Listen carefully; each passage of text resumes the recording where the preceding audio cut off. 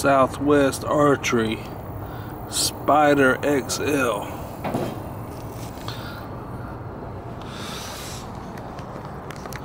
Alright, it's your boy Reed. I got another bow out here. This is not a compound bow, I think.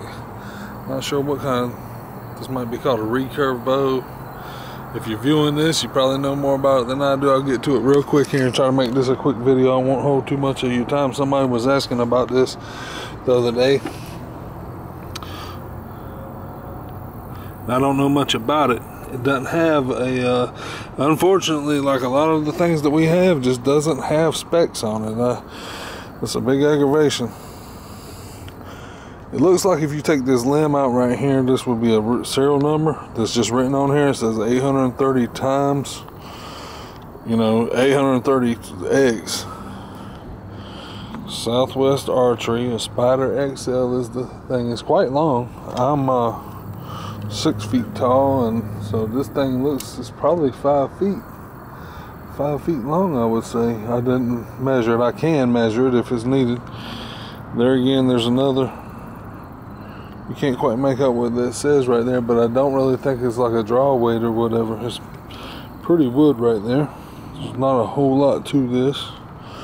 Um, sure if you're watching this, you probably know what that's for. I don't. I guess this is a stabilizer right here, maybe. It says Trophy Ridge. Uh, let's see if I, I don't even know if I can get the whole thing in the picture there.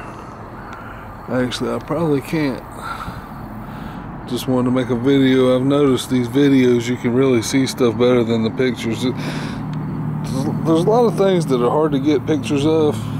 I found out that these bows are definitely guitars, bows, um, anything that's long tends to be kind of hard to, uh, especially something like this, long and skinny. Like even if you had like a, a socket, a socket socket extension or a ratchet, like a long ratchet.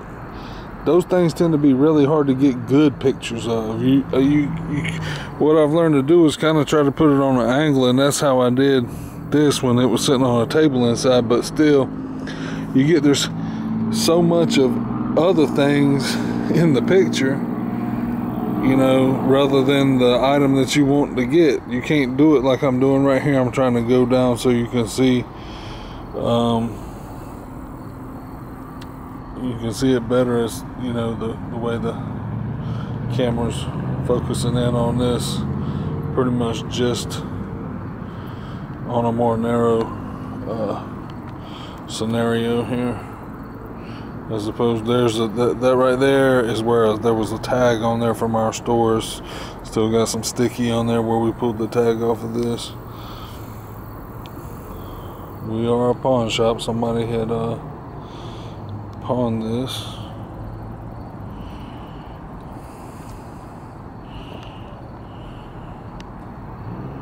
there's also something right there right here I'm pointing at right where, where, where can't do it with two hands. There's something right there. It's kind of like something sticky right there as well. That's not from a tag. That's something different. Uh, there's some scratches right here I see.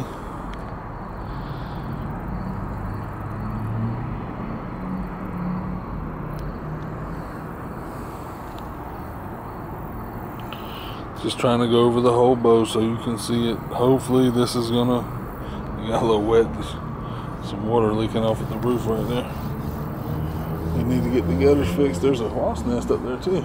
They've even got, there's even a tree growing in the gutter right now. I don't know if you can see it. That's a little pine tree growing in our gutter back here in the back of this building. Uh, doesn't have anything to do with the bow right here, but I was just, the gutters are kind of, need to be cleaned out a little bit up there. So, a lot of uh, there's a lot of buildings. There's a lot of um, businesses in this little strip mall right here. Uh, anyways, uh, if you have any questions, be sure to ask, and you know I'll do the best I can to try to um, see if I can figure out the answer. I can get my boss to help me take a look at this if somebody has. I know somebody asked, and you're the one actually who I really made the um, making this video for right here. I'm not sure what this right here is I'm not sure what that is. It's got a screw holding it on. There was another guy in North Carolina that had asked about this. We're located in North Carolina as well. He's the one that asked what the uh, draw weight was, and I'm sorry I don't have it. I'm sorry I don't know that. I can tell you this.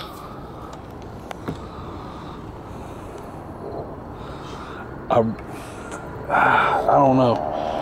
I don't. I know so little about bows. What I do know is it's traditionally been. I, I'm a big guy, and I feel like I'm pretty strong, but it's always been hard for me to pull a bow, even if it was like a 50 pound pull. And um, now I didn't get this one all the way back, but I was able to start pulling it pretty easy. So I would think, and that's something I don't know.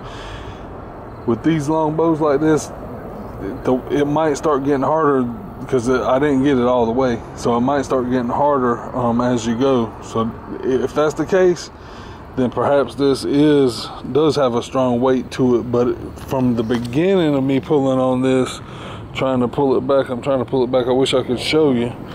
I can't set the, there's nowhere to set the camera up and show you me pulling it. Um, I don't know if you can see that, but I'm pulling it pretty easy back to this position. It's, I don't think that, and I don't think that's all the way that you're supposed to pull it. But um, anyway, I hope that video helps. And um, if you have any questions, hit me back up, and I'll try to try to try to get to the bottom of it. I don't know how we'll be able to tell for sure what the uh, what the draw weight is, but um. I can sure get my boss to take a look at it, and he knows more than I do. I don't think he'll still be able to tell you that because we don't have the type of tool that you measure that with. But um, if you, you know, still ask me if you're interested, and I'll try to do the best I can. Try to do a little more research on it. Maybe I can uh, Google the, the um, specs on this particular bow, or maybe try to contact the company like I did with the Mathews bow we had out here earlier.